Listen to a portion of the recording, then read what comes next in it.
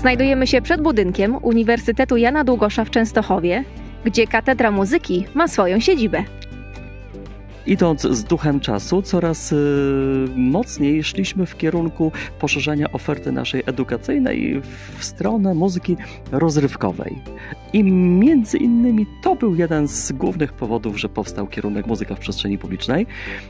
I tam pojawiły się takie właśnie e, specjalizacje jak e, muzyka rozrywkowa. Najpierw oczywiście był to wokal estradowy, wokal jazzowy. Od jakiegoś czasu mamy również znakomitych specjalistów od gitary elektrycznej, od gitary basowej i od perkusji.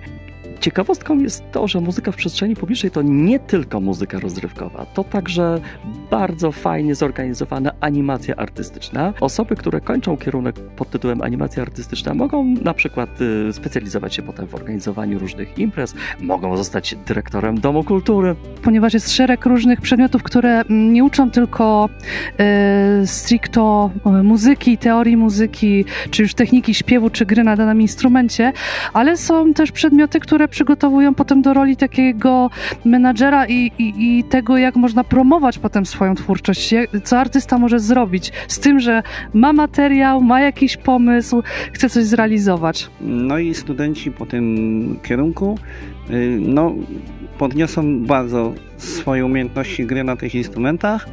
No i mam nadzieję, że w przyszłości załapią się albo znajdą pracę w jakiejś poważnej instytucji lub fajnych zespołach, z którymi mogą y, koncertować po, całym, po całej Polsce albo i nawet świecie. Perkusja estradowa przeznaczona jest dla wszystkich miłośników muzyki estradowej i jazzowej. W trakcie studiów studenci zapoznają się z muzyką jazzową, e, popową, e, e, latynowską oraz elementami muzyki klasycznej i elektronicznej. W zależności od preferencji każdego ze studentów realizujemy materiał na zestawie perkusyjnym oraz na instrumentach perkusyjnych melodycznych oraz na przeszkadzajkach. Uczymy się tutaj grać na gitarze mm, w każdej stylistyce. Gramy na gitarach elektrycznych, rockowych, na gitarach jazzowych, gramy na gitarach klasycznych, akustycznych. Wykorzystujemy to podczas licznych uroczystości, które organizujemy na uczelni. E, współpracujemy między sobą, dużo pracujemy z wokalistami, e, dużo, dużo gramy w zespołach, mamy sporo imprez, przygotowujemy recitale dyplomowe. E, no i te umiejętności są nam bardzo potrzebne tutaj i wykorzystujemy je absolutnie, grając czy to muzykę rockową, rockową, czy to jazzową. Sporym atutem jest to, że jest to kierunek przeznaczony dla pasjonatów muzyki, czyli jeżeli umiesz grać na gitarze, mm, możesz przyjść do nas na egzamin i spróbować swoich sił, nie musisz mieć absolutnie żadnego przygotowania muzycznego.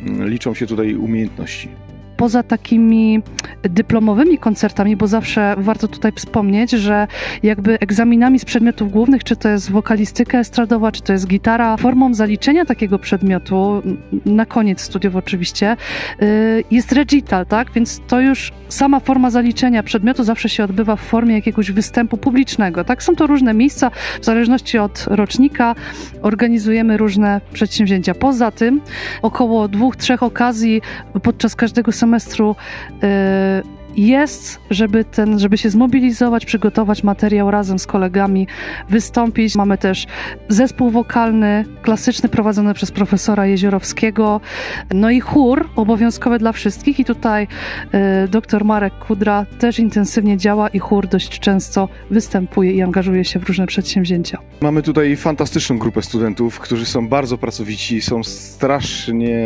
strasznie kochają to, co robią, dlatego wszystkie te wydarzenia, wszystkie te koncerty, które przygotowujemy są absolutnie wyjątkowe.